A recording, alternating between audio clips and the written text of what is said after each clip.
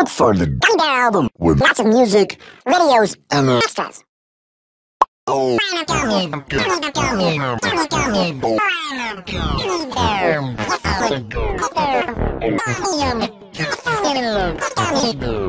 Look for Gummy Bear.